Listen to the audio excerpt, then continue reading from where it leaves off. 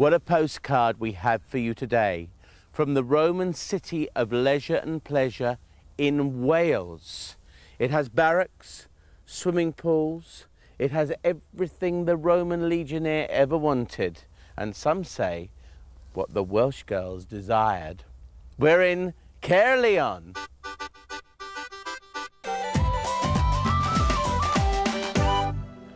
Caerleon, Monmouthshire is a surprise town that bursts with Roman antiquity, as Dr. Russell Rees exudes. So, what was the, the importance of this amphitheatre? What did that make Caerleon? Well, it made it what uh, I have been telling most people a great leisure centre.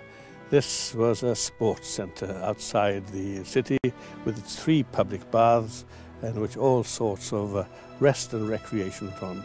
Caerleon was a great recreation centre of Roman Britain. And of course it became the, in the, in the words of the people who live in Caerleon, the Round Table of King Arthur. It was known as the Round Table Field until it was rediscovered to be a Roman amphitheatre by Christopher, Sir Christopher Wheeler. It's the only building in the Arthurian legends which existed at the right time of the 5th century. There's no other building in, in anywhere, Glastonbury, Tintagel, that are that is 5th century, except for this uh, ex-Roman amphitheatre in Caerleon.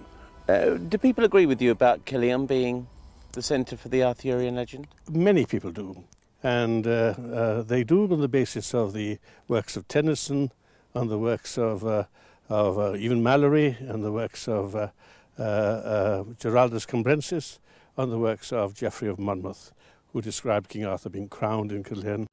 And of course, it's the logical place where it would be. King Arthur was a true Welshman who fought off the English and uh, eventually succeeded in the Battle of Badon to give us 50 years of peace and the frontiers roughly in the Severn Sea. This is authentically the court of King Arthur, Camelot. Now, if I said to you there was a league table of Roman sites and places in Britain, where would Caerleon figure? Would figure very highly. The three great Roman military cities were York and Chester and Caerleon. The thing that makes Caerleon unique is the only Roman great city that grew to be a village. So what we have here is demonstrably to be seen. What is in Chester can't be seen anymore. What is in York is in the museum. If you come to Caerleon, you see it. You see the plan of the village, the town, and you see its leisure centres, and you see its site. You sit here and we look outside, and there's a wonderful natural amphitheatre, yes. which is the reason the Romans chose this uh, crossing of the River Usk to establish their military city. I have never seen anything like this in my life, the barrack. Well, this is unique, unique to it. I mean, it existed in Chester and York, but it's been overgrown by, by, by growth in cities. But in Caerleon, we have all this lead ready to be seen. And what we should be doing, of course, is to make it more visible, help people see it, rebuild parts of it. There's nothing wrong with that as long as you tell people that you've done it. And that's what I'm about now. I'm trying very desperately to rebuild the main gate to Caerleon City. These are for, for stoves and things, you see. Oh, just there.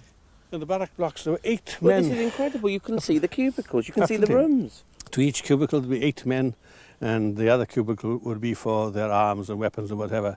And in between there'd be a sort of meeting ground, so they faced upon each other.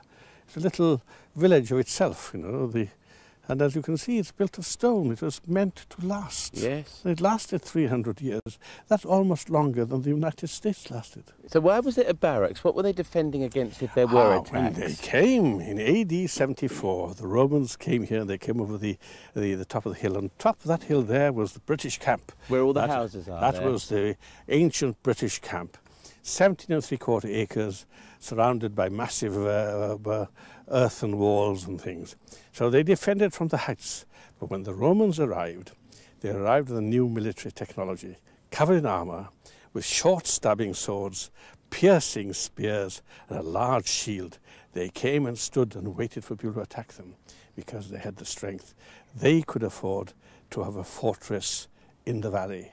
The ancient Britons had throwing spears, long swords, and they needed the hills to defend themselves the uh, ancient Britons were faced by a magnificent body of disciplined, new technology, really serious military opponents, something they'd never seen before.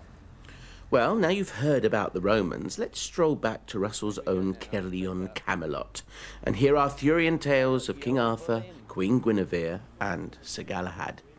When the Romans left the city, they left to defend Rome, and everything in the city was left as it was. So Caerleon was a major place described by Giraldus Cambrensis as a place of gilded palaces, of, of uh, uh, air conditioning, central heating, uh, sanitation. So it was the obelisk place for Camelot. And the fact that is important is